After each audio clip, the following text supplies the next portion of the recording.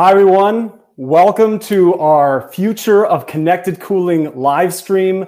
We're so excited that you decided to join us uh, tonight, at least tonight here in Copenhagen. But I know that many of you are joining in from places all over the world. We're broadcasting tonight on four different channels.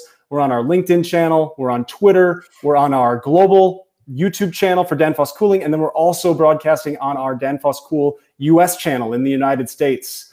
And I'm really excited to have Thomas and Julian with me here today. We're going to be sharing about the trend of connected cooling that is going throughout the industry and sharing some really, really exciting technologies and solutions that, uh, that we have in play.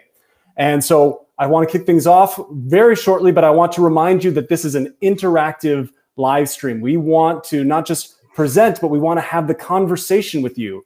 So if you're tuning in, no matter where you are in the world, Please uh, give us a thumbs up when you like what we're talking about. Hit that like button. Also, be sure to leave us a comment or a question off in the chat. We have chat moderators. They're uh, they're there to interact with you, and they're also passing uh, your questions and comments on to us so that we can address them here, right here in the live stream.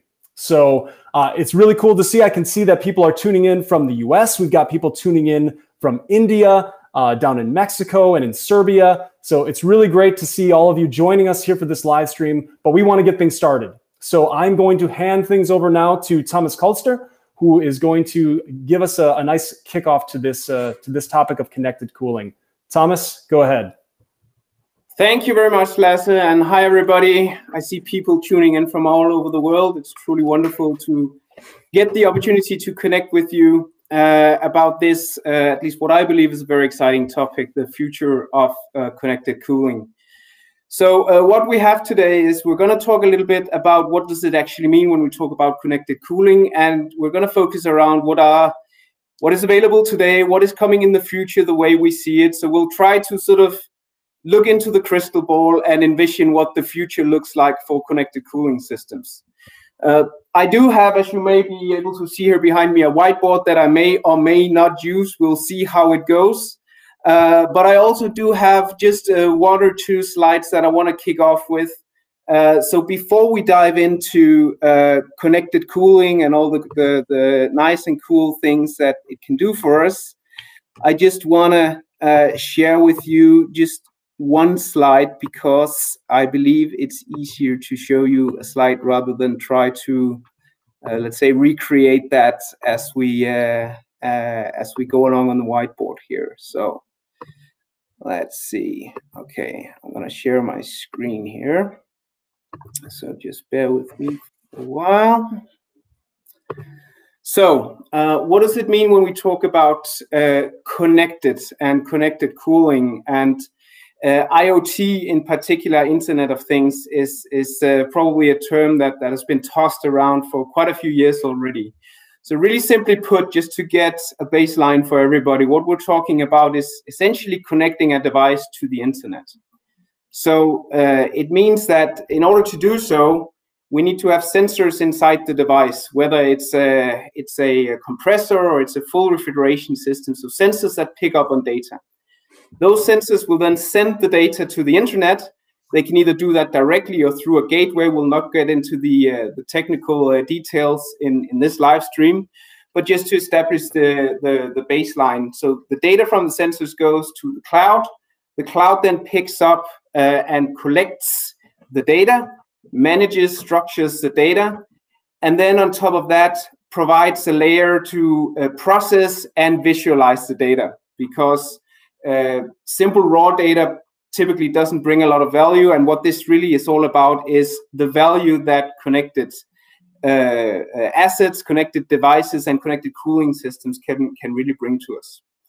So the, the data, as, as I mentioned, is really here to give us actionable insights, to really let us know about the system or the individual component that could be a compressor. How is it uh, performing? Uh, how much energy is it consuming? And so on and so forth. So that's essentially the uh, the the whole notion about connecting an asset or connected uh, uh, connecting a cooling system, providing it the ability to measure how it's operating and send that data uh, to the internet. So um, with that in mind, uh, let me just uh, go away from the slide here and back to to the camera. So uh, as I mentioned, the data that we pick up on can uh, give insights, but it can also trigger automation activities. So uh, data can also uh, initiate other activities that react on, on data being pushed, pushed by certain devices. We'll get into the, the notion of automation uh, a little bit later if we look at the at, at connectivity in general, some trends and facts, uh, and and some some key numbers, just to get everybody aligned on that, because over the the past years, uh, the the number of connected devices and and systems have grown more or less exponentially. So at at the current date, uh, currently we we see more than 11 million devices are being connected. So this isn't just cooling devices, that's more in general. 11 million devices go on the internet every day. And today we have roughly about 30 billion devices uh, today. And predictions say that we will get to 75 billion devices by 2025. So the growth is quite staggering. And the devices, they connect in different means. They connect uh, uh, through the internet, through uh, HTTP, uh, HTTPS, 5G, uh, or through uh, mesh networks that that you may know from from home automation if you've ever ventured into that. So there are different ways of um, of, of connecting. Um, and when we talk about uh, automation, so there, there are different things that, that the, the value of uh, connected devices bring to us. So it can basically automate simple tasks. So uh, that's that's the first thing. So task automation. So let's take an example from the refrigeration industry. So um, understanding or, or sensing the uh, air temperature in a refrigerated cabinet and putting that up in a report for compliance needs. In Europe, for example, you have uh, HACCP as one of the compliance standards that you use in uh, food service and in, in food retail industries. And uh, automating the process of uh, net or uh, automatically picking up on the data based on the sensors and putting that in a decent looking chart rather than manually have to measure temperatures and note down the uh, the temperature on a piece of paper or an Excel sheet will save significant amounts of time. So simple task automation is uh, is definitely one of the uh, one of the trends that are driven by by connected assets. You also can go a little bit further and talk about process automation. So uh, to stay in uh, in the refrigeration industry uh, and stay on the on temperatures, for example, uh, if you have a certain temperature threshold inside a refrigerated cabinet.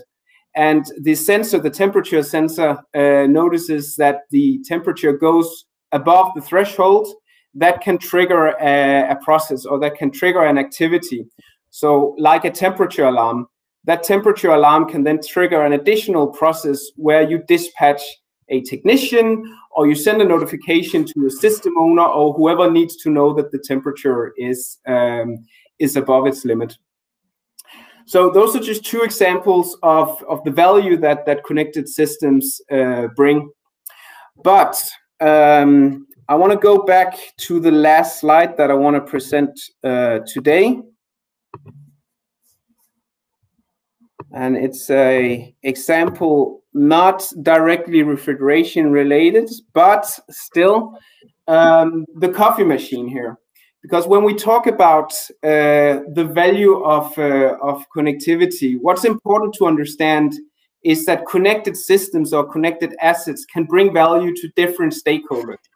So if we take the coffee machine example, if you're the machine operator or the barista or the, the guy behind the counter, so to speak, in a coffee shop, it's uh, very nice to know if uh, the temperature levels are right, the, the pressure inside the machine is right, uh, you want to know if the, the bean levels are correct or if you need to uh, refill the beans or if there's any hygiene needs, uh, so you can ensure that the system works and delivers the best possible product, in this case, the best cup of coffee.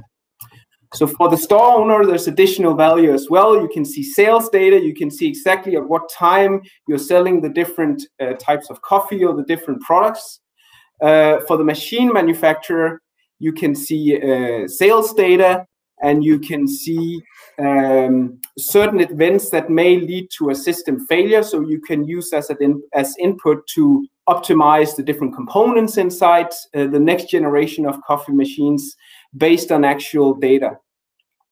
And for the service technicians that uh, that need to go on site to to maintain and to fix uh, the the assets or the uh, in this case the coffee machine, you can understand before you go on site the current condition that the machine is in. You can maybe through that understand do I need to bring certain spare parts, certain tools, um, and what is the service history? So is this is it the same thing that is constantly breaking down with this coffee machine? So all in all, something that can help you prepare for your visit and therefore improve the, the time it takes to actually uh, fix the issue. So the value uh, as such is uh, is quite significant for uh, uh, many different stakeholders. So depending on you are, there, there are different values in a connected system. So if we then hover back to cooling, uh, because I, I, deliberately took an example here that, that we're a little bit outside just to show show the value, so a little bit outside of cooling. But if we then get back to to the cooling industry, uh, there are certain trends that, that we see, uh, and and some of these trends that I would like to to highlight here before I hand it over. So as I mentioned, uh, connectivity uh, uh, is growing, and we just saw the numbers here. Uh, so this means that as connectivity becomes more available, more affordable, there's opportunity, vast opportunity in connecting more assets and measure more data. And uh, what it means in cooling, for example, is that you can, uh, in a pretty uh, straightforward way, actually connect all your different assets.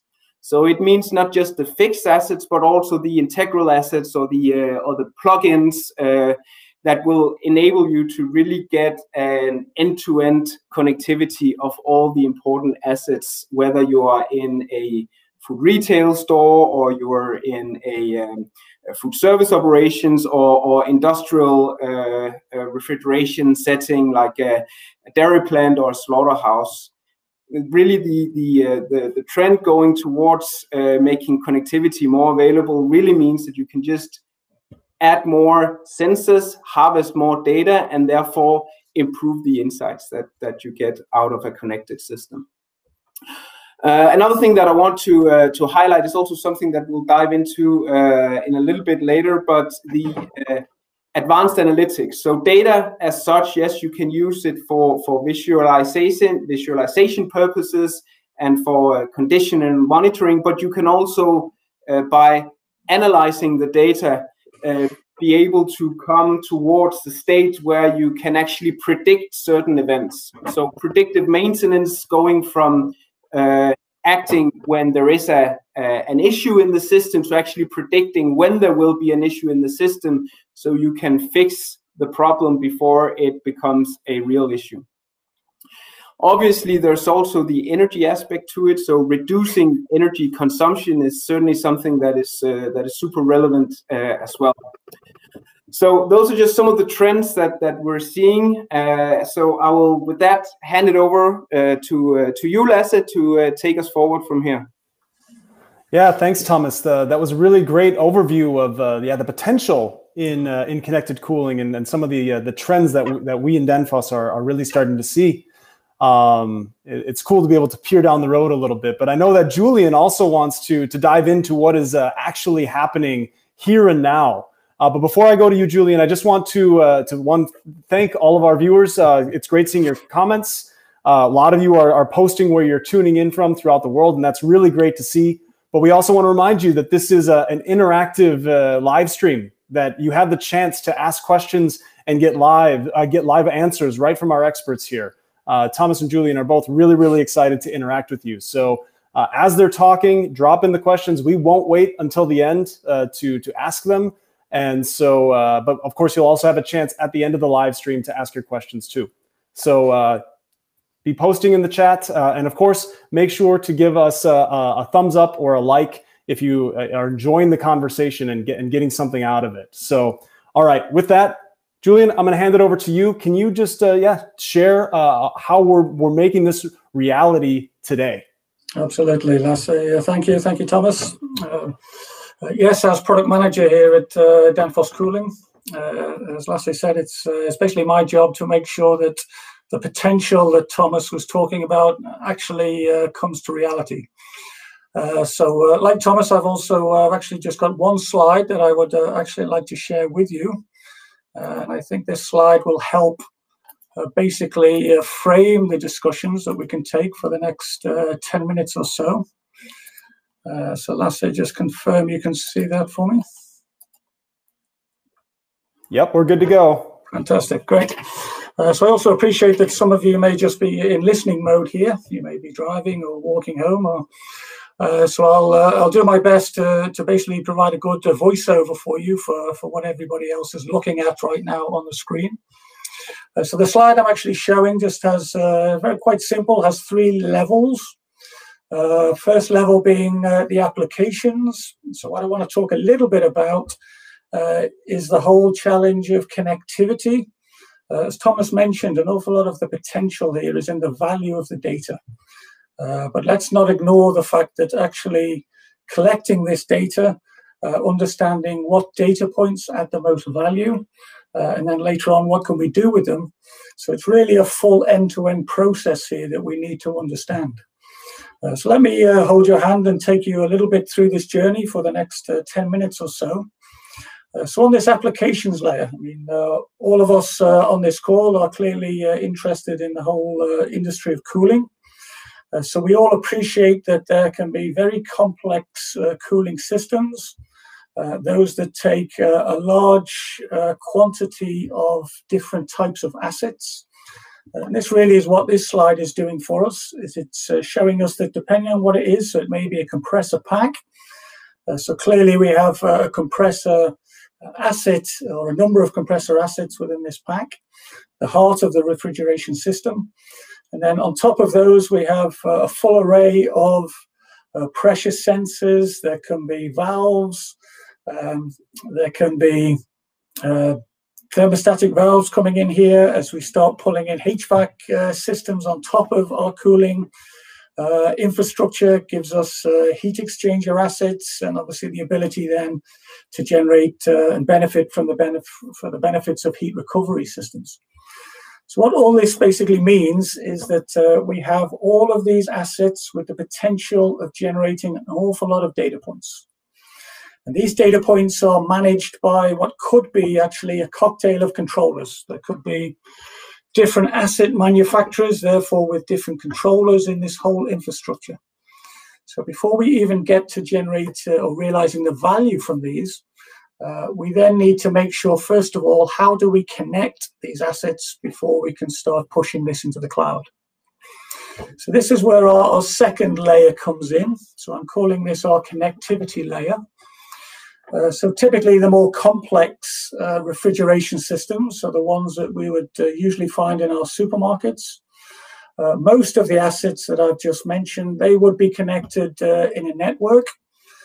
that network would then be connected and controlled by a central unit. So in this case, on the right-hand side here, example of our system manager range, where we have this asset centrally in the store, it's collecting all of these data points from refrigeration systems, from uh, HVAC systems, from lighting systems, uh, managing uh, uh, basically all of the controls of that uh, for optimum use.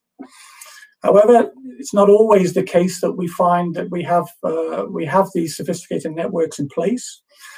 many applications whereby some assets aren't networked at all, uh, so these could be uh, things like connected cold rooms or standalone cold rooms uh, that again are cooling a large volume of, uh, of merchandise. Uh, they need to be connected to the cl- cloud, not only for food safety, but also for diagnostics. we're also seeing now a large demand for click and collect refrigerated lockers. So those that you would see locally in your towns, they could be next to petrol stations or somewhere within the retail environment. Uh, so again, you order your uh, groceries online, you pick them up on the way home from uh, from one of these refrigerated lockers. So again, exactly the same type of requirement. Uh, so we need to connect these, and we need to be able to remotely manage uh, these assets. Hey, uh, Julian, uh, if you don't yep. mind me jumping in here, I think we've got yeah, a sure. relevant question uh, at this point, and uh, I want to throw it out there, and I hope I get this name right. But Clodian is asking, how is 5G going to change the way that we connect HVAC devices? Well, I think uh, again, very good question. So we're all, we're always looking at uh, at these advances in telecommunication technology, which is out there. Uh, I mean, a number of these uh, devices, so actually timing is perfect, the one I'm on right now.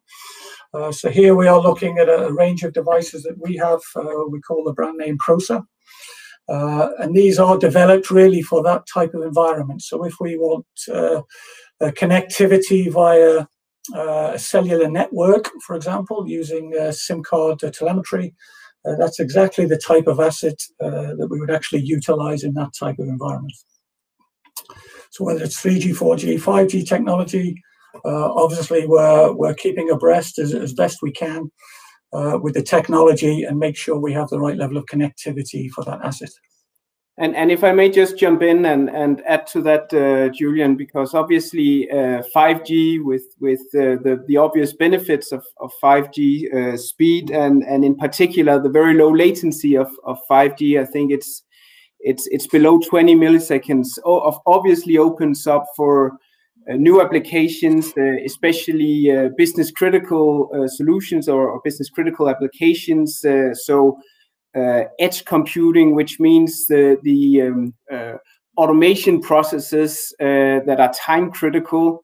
will be able to be to be conducted through 5G, which was maybe in in older generation uh, networks not uh, not uh, not so um, so feasible due to latency and and speeds and so on. So that's one of the things that that the new 5G, as, as as I see it, brings in terms of of opportunity and, and new new opportunities in refrigeration. Thanks, Thomas, and uh, again, thanks for the questions. Um, also, as you just move along a little bit here, also um, uh, introduce the concept here of other individual type assets. Uh, so again, what we see a lot of in our work within particularly the food retail type environment is where we have uh, retail facilities that have actually quite a lot of uh, integral uh, refrigerated cabinets or plug-in cabinets. Some of you may uh, know them as.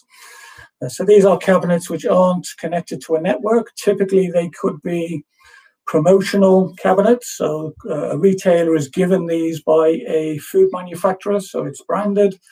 Uh, it's used uh, as a promotional cabinet near the, the checkout counter, for example. Um, again, uh, depending on what the merchandise is, uh, there is certainly a requirement here to make sure primarily that these the food, the contents of these cabinets are stored at the right temperature for food safety. Uh, but again, if these are alarming assets, then uh, these alarms need to be captured.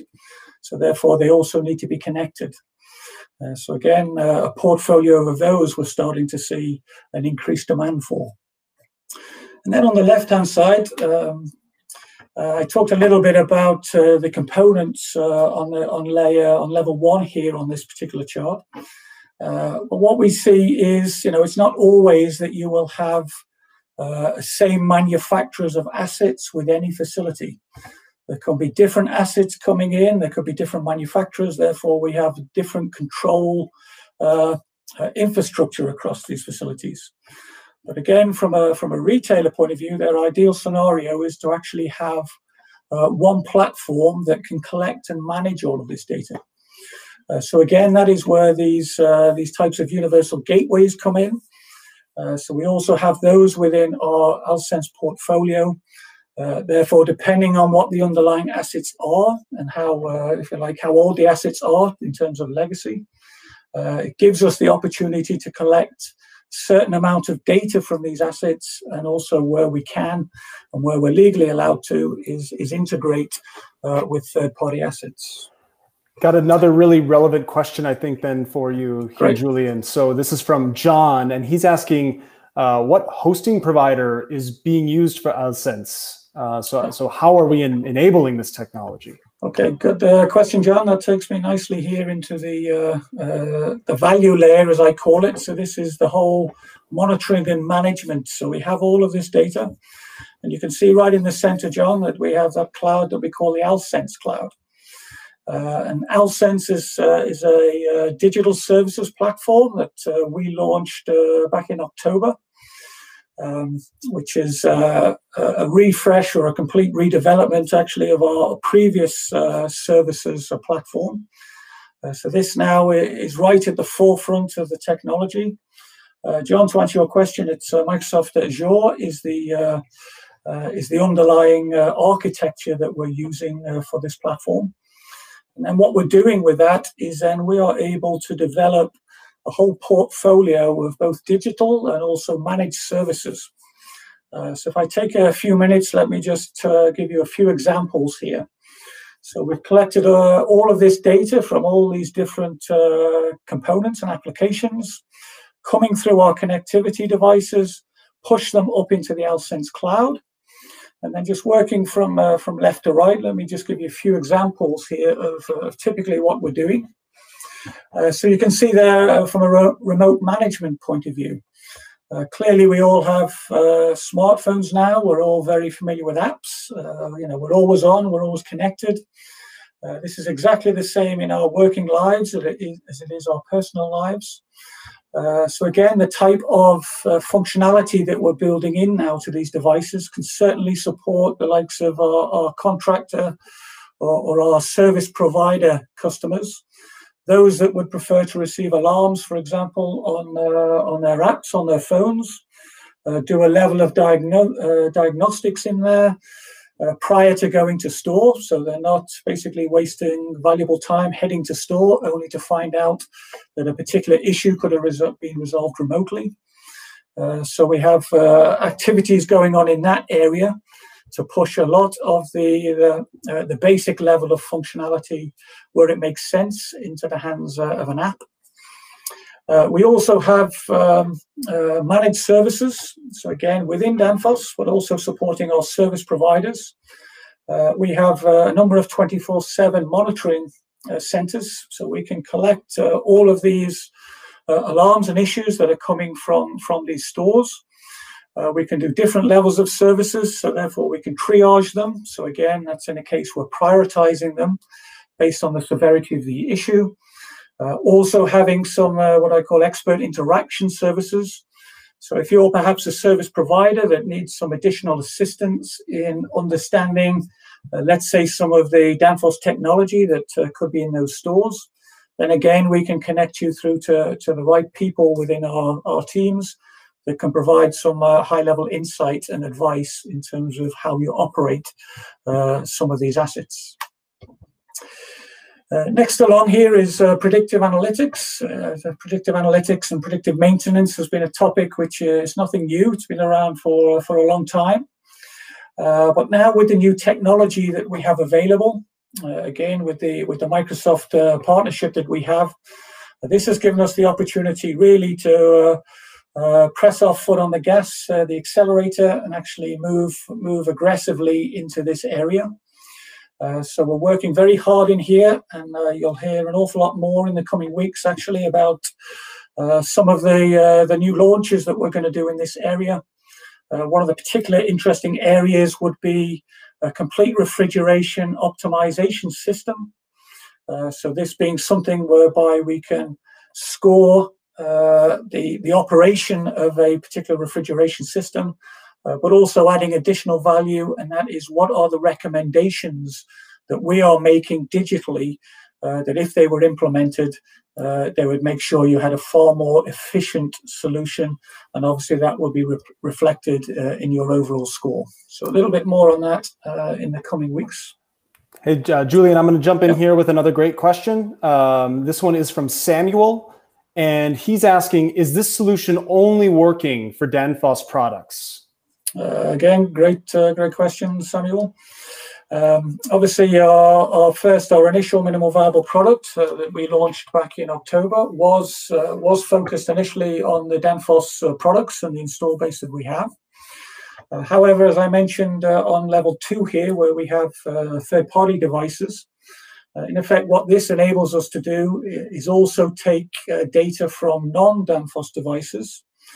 Uh, we can pull that through, we can then ingest that data and also make that data available inside the Alsense cloud. So, so in effect, I could be looking at a cockpit uh, of different dashboards uh, whether they be alarms or some information about uh, specific asset performance.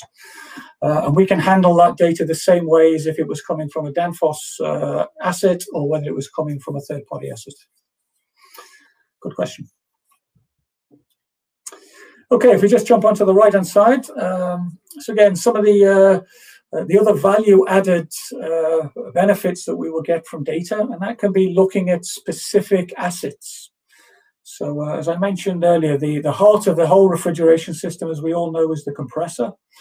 Uh, so very important that we keep uh, keep our eye on the performance of the compressor. We collect all the relevant data points that we can. Uh, so again, what we're doing, we haven't launched it yet, but we have a uh, compressor insights uh, tool. So again, specifically for that, looking at, for example, suction pressure of our compressor packs, looking at the run times, doing some correlations of different data points. Uh, what that will lead us to is again on the whole uh, predictive maintenance uh, topic, uh, ideally preventing issues happening uh, by predicting, uh, okay, there may potentially be an issue in three months' time with this particular asset based on the data that we're collecting. So therefore, we can advise a service provider that rather than waiting for a routine maintenance, you need to now go and act uh, and do the uh, pay attention to the actual compressor before, for example, the ambient temperature rises, and then that will put more pressure on that particular asset. Uh, energy efficiency, something Thomas touched on uh, in his introduction here. We've uh, we've always been focused at Danfoss on uh, making sure, not only from a hardware point of view, that we give you the best possible energy efficient components, but also in the cloud uh, an awful lot that we can actually do to make sense of that data. Uh, so a number of these things for you. First of all, we have to uh, be able to measure. Uh, so that means we uh, we need to be able to collect the right energy uh, consumption variables from across the, the, the assets and the entire estate. So we have a, a portfolio of wireless energy sensors, very easily installable, that we can plug in, and then we can transmit that data uh, from the device, either through one of our gateways that you see in the middle connectivity layer here, uh, or again, based on uh, the question we had before, uh, this could be going via uh, 3 to 5G uh, cellular networks into the cloud, and then we can we can manage the data that way. In terms of managing that data, yes, things like energy energy dashboards are available, but also we're working further in terms of building or enabling you to build very accurate energy models. So what I mean by that is all the influencing variables uh, which play a part in determining what the consumption is. So not only ambient temperature, but we can also look at size of the store and store occupancy levels, for example. Uh, and then once we have that baseline measure, we can then use that for forecasting purposes.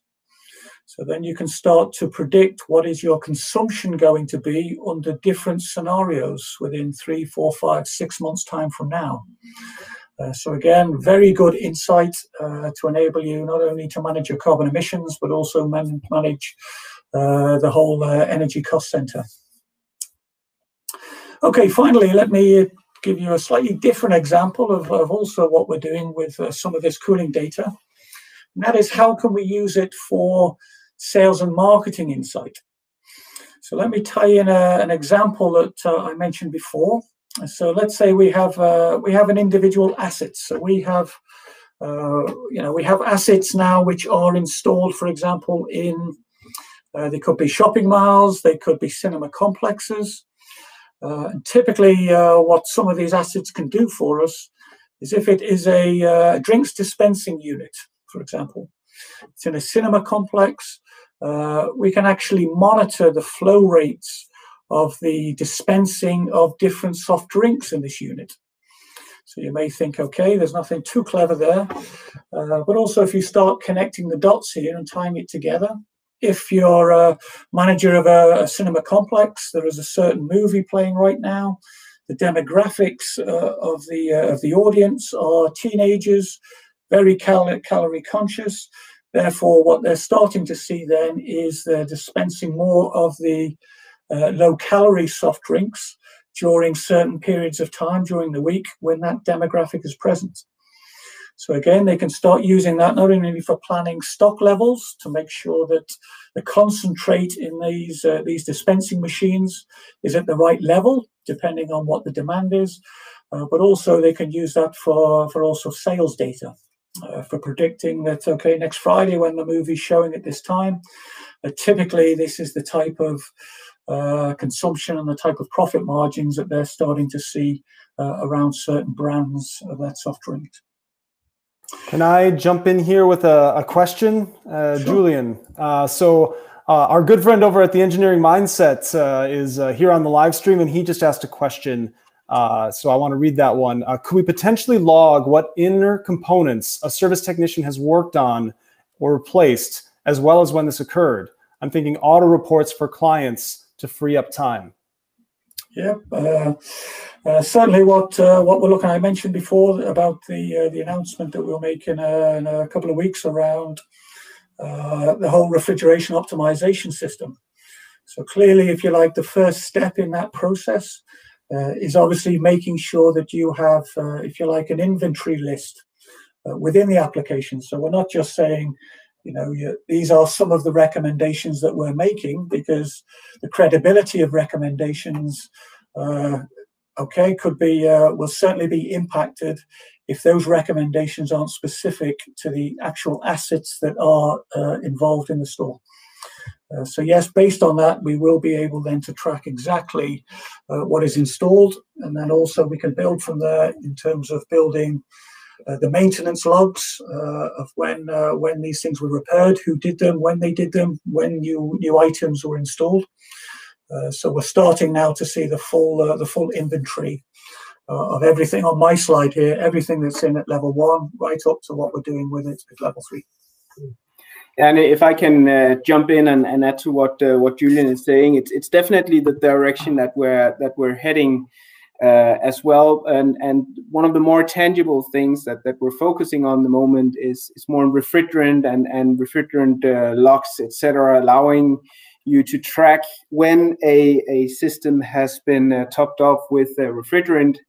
Uh, both for the for the logging aspect, but also because it can provide additional insights or, or access as additional data to provide more actionable insights to determine the, uh, the, the current state and and the potential future state of the system if we know when refrigerant has been uh, has been topped up in the system. Okay, Thomas. I think uh, given the time, I can uh, uh, hand back to you. Okay, uh, just just before we we we you take up the torch, Thomas, I just want to again thank our audience for all the great questions. We see uh, we have some more queued up, but I want to hand it over to Thomas so that he can make sure to mention a few things, and then we'll address a few questions uh, as we get to the the end of our live stream today. So, Thomas, why don't you go ahead and, and share uh, what you wanted to share now? All right. Well, uh, I think we're getting to the point where it makes sense to wrap, wrap everything up. So we we started out by by looking at some of the trends in the industry, and and we spoke about what what values uh, drivers that, that are being uh, that we consider uh, as as uh, coming out of the trends in in connectivity and and so forth. Um, so I want to wrap up a little bit, uh, just just maybe recapping a little bit and and looking a little bit uh, into the into the future and and try to focus on the some of the the highlights that we see in in connected cooling. So allow me to to use my my whiteboard here for a second. So. Um, if we just look at uh, at sort of recapping what I said, so we, we say that data brings insights. And what we're ideally seeing as, as a trend for the future is not just tell what's going on, but actually tell uh, what's going on or what will be going on and what can you do about it. Um, so if you add another source of input rather than the, than just the data, and you can uh, consider that source uh, that source uh, domain expertise.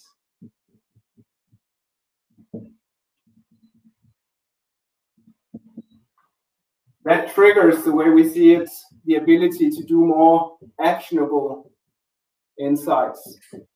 So data brings insights, but if you if you add domain expertise to interpret what the data is actually saying, you get much further towards actionable insights and ideally predictive insights as well. If you then on top of that add um, automation procedures and potentially also uh, artificial intelligence and machine learning components, you get uh, uh, well above uh, or beyond that, then you get not just actionable, actionable insights, but you also get the opportunity to uh, start automation processes. Um, because that means that we will get towards a scenario again if we if we sort of look into the crystal ball and try to predict what's coming in the future then um, then we're really essentially looking at a system that that uh, potentially could be optimizing itself. So, uh, in other words, the orchestra uh, playing itself, uh, playing itself without uh, the need of a conductor.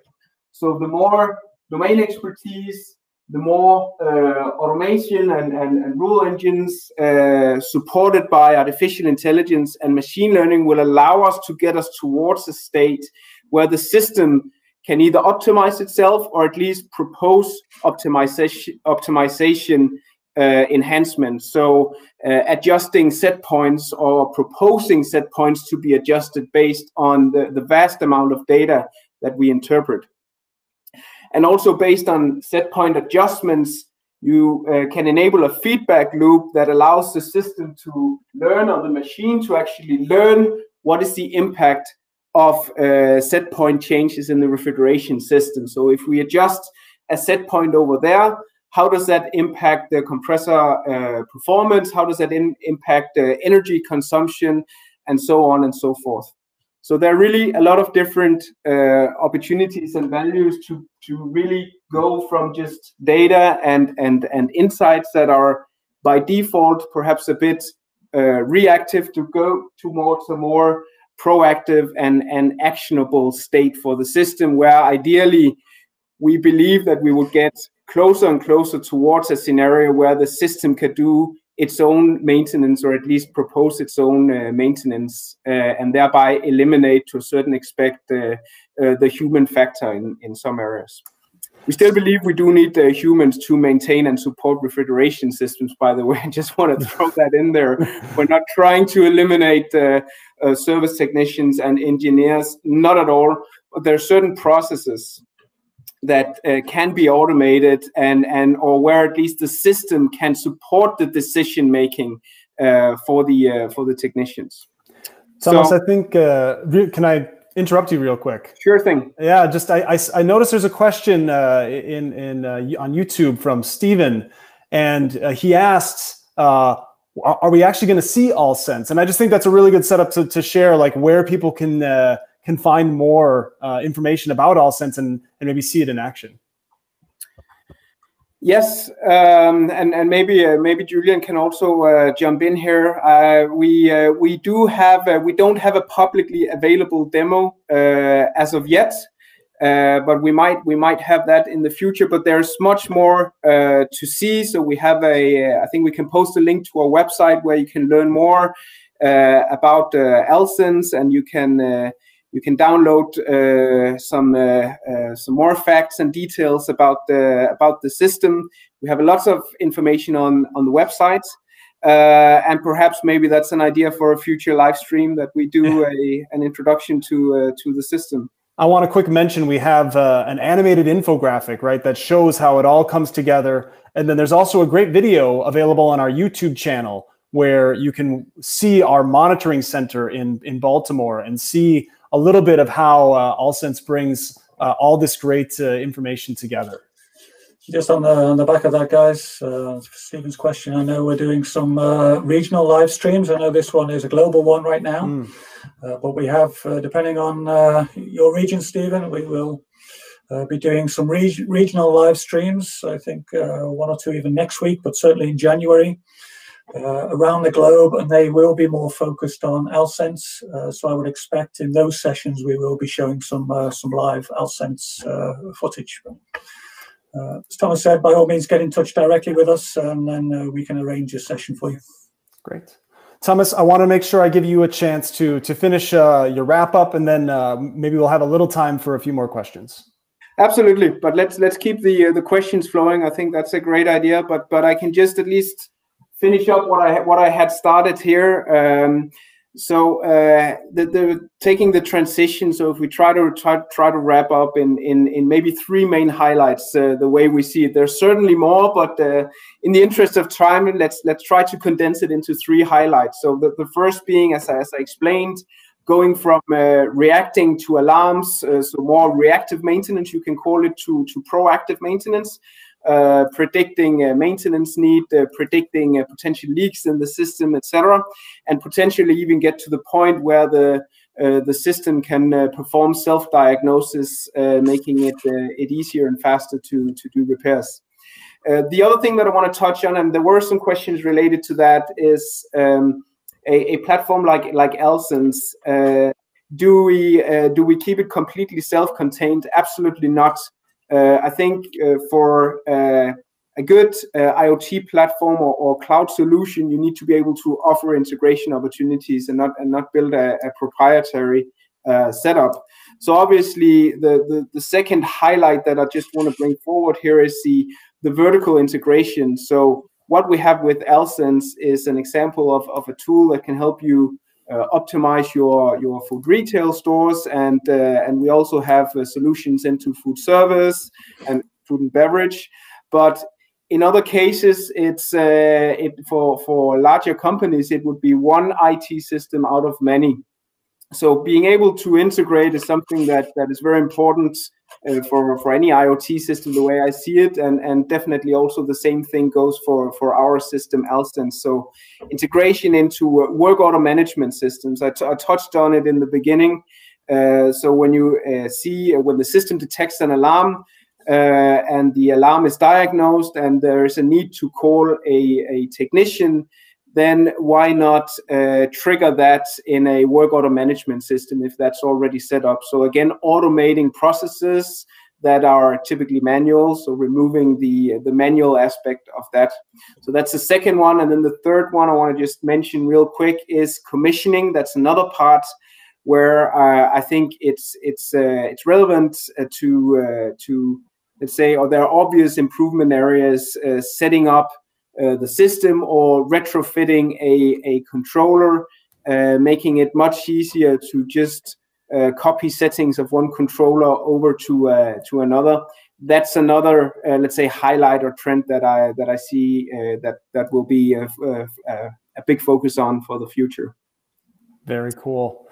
All right, we're we're getting to near the end of our live stream here, but I want to just throw out a few more questions for the two of you to answer. And uh, the first one that I have here is from Rasmus.